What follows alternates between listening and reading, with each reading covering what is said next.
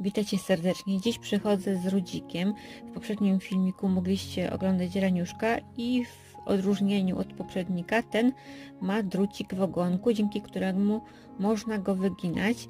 Drucik, tak samo jak u poprzednika, znajduje się w łapkach, dzięki czemu można wyginać poszczególne palce.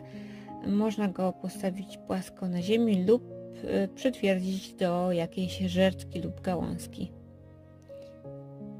Tak prezentuje się cały ptaszek.